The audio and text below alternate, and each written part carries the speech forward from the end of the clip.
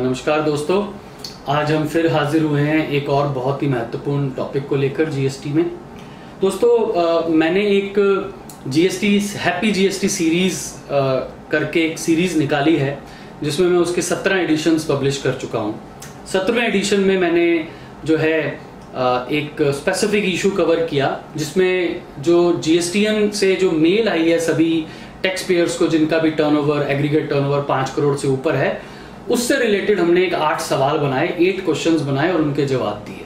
वो सीरीज़ मैं पब्लिश कर चुका हूँ आज ही आज 14 अगस्त को। तो मुझे लगा एक वीडियो भी बनाना चाहिए हमारे व्यूअर्स के लिए ताकि हम फेस टू फेस उसके बारे में भी बात कर सकें और आपको बता सके कि उस मेल के ऊपर क्या अ, मेल क्या है और उस पर क्या एक्शन लेना है।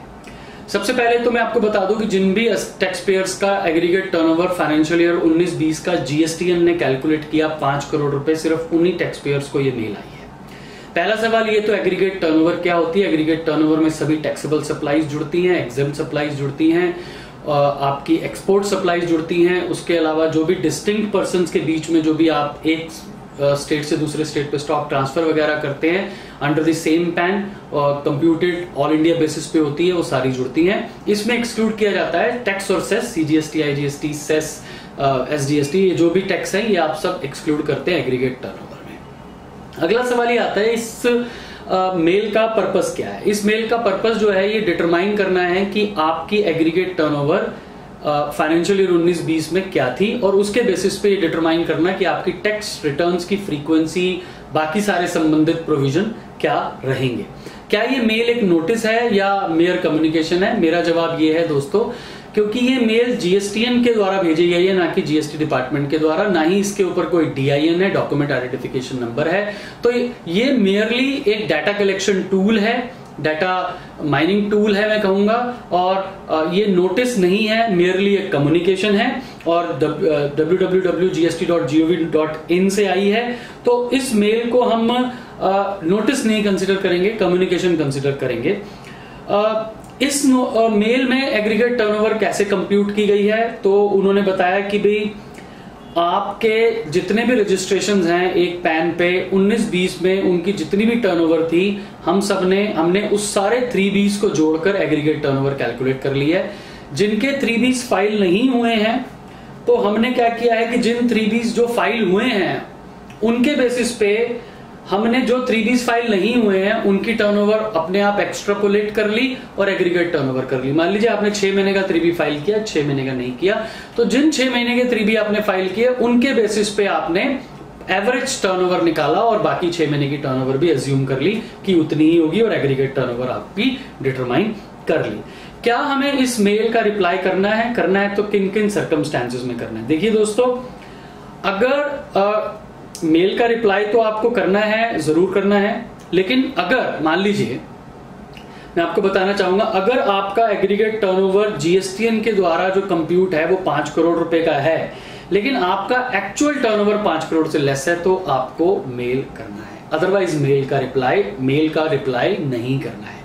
अगर आपकी टर्नओवर जीएसटीएन के द्वारा कंप्यूट टर्नओवर पाँच करोड़ से अधिक है, और आपकी एक्चुअल टर्नओवर पाँच करोड़ से कम है तो आपको इस मेल का रिप्लाई करना है अदरवाइज़ नहीं करना है। अब इसके पॉसिबल रीजन क्या हो सकते हैं कि जीएसटीएन के द्वारा तो पाँच करोड़ से अधिक कंप्यूट की जा रही है आपकी फाइनेंशियल ईयर 1920 की टर्नओवर और आपकी एक्चुअल टर्नओवर कम है।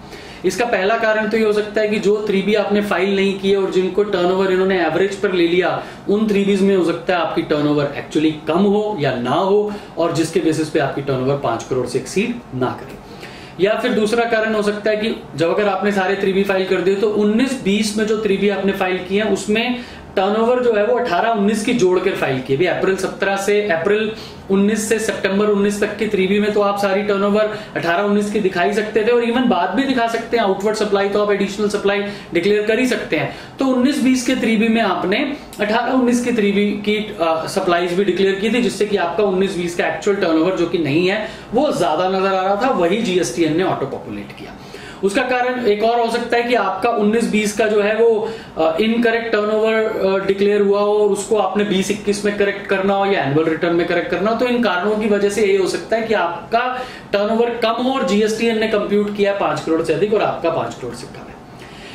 अगर आपको मेल रिसीव नहीं हुई है तो भी क्या आपको इसका ग्रीवियंस सबमिट करना है, इसका क्या इसके ऊपर रिप्लाई करना है? आंसर इज़ यस अगर इन्होंने टर्न इन्होंने मेल की है सिर्फ़ उन टैक्स पेयर्स को जिनके एग्रीगेट टर्नओवर फाइनेंशियल ईयर में 19-20 में पाँच करोड़ से अधिक थी। और आपको मेल नहीं आई और आपको लगता है कि आपने जो डिटरमाइन किया, आपकी टर्नओवर एक्चुअली पाँच करोड़ से अधिक है। तो आपको ग्रीवियंस पोर्टल में जाकर सेल्फ सर्विस पोर्टल में जाकर इसका रिप्लाई करना पड़ेगा दोस्तों। उसके कारण क्या हो सकते हैं कि जो थ्री बी आपने फ़ाइल नहीं की और उन्होंने ऑटो पॉपुलेट करके आ, कम की टर्नओवर बनाई तो हो सकता है उन थ्री बीज में टर्नओवर आपकी बहुत ज़्यादा रही हो जो कि इनके पास डाटा ही नहीं है। इनके पास तो पिछले छह महीने का डाटा है जो आपने फ़ाइल की अगले छह महीने की जो फ़ाइल नहीं की उनका डाटा ही नहीं है। तो उस केस में इन्होंने पाँच करोड़ से कम बनाया।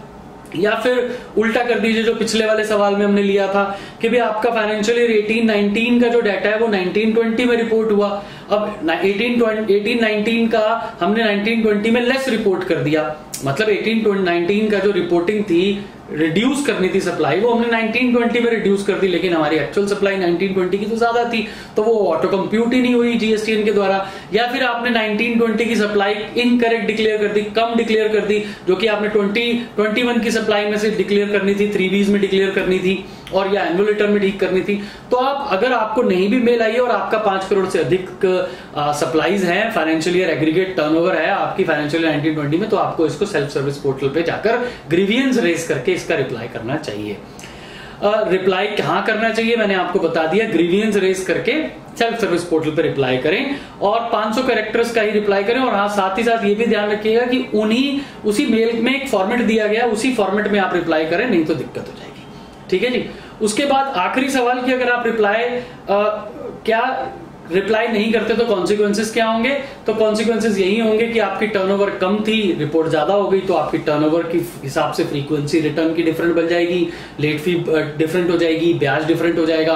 आपकी टर्नओवर जो है वो ज़्यादा थी और इन्होंने कम रिपोर्ट की है तो फ्यूचर में अगर प्रॉपर ऑफिसर इसको असेस करेगा तो एडिशनल फ़ी फ़ी ले भी कर सकता है। तो ये डिस्क्रिपेंसी आपकी चलती रहेगी, अगर आप इसके रिप्लाई को प्रॉपरली सबमिट नहीं करते। मैं आशा करता हूँ कि आपको ये अच्छा लगेगा वीडियो, और आपके लिए यूजफुल रहेगा, आप इसको ज़्यादा से ज़्यादा फॉरवर्ड करें। जिसको भी हमारी एपी जीएसटी सीरीज़ चाहिए, वो मेरे मोबाइल पे व्हाट्सएप कर सकता है और मैं उनको फिर कॉन्टिन्यूसली वो हैप्पी जीएसटी हम हफ़्ते में तीन दिन ये सीरीज़ पब्लिश करते हैं। जीएसटी में डिफरेंट डिफरेंट आस्पेक्ट्स को छोटे छोटे आस्पेक्ट्स को लेकर उनके ऊपर ब्रीफ डिस्कशन करते हैं। Thank you very much for watching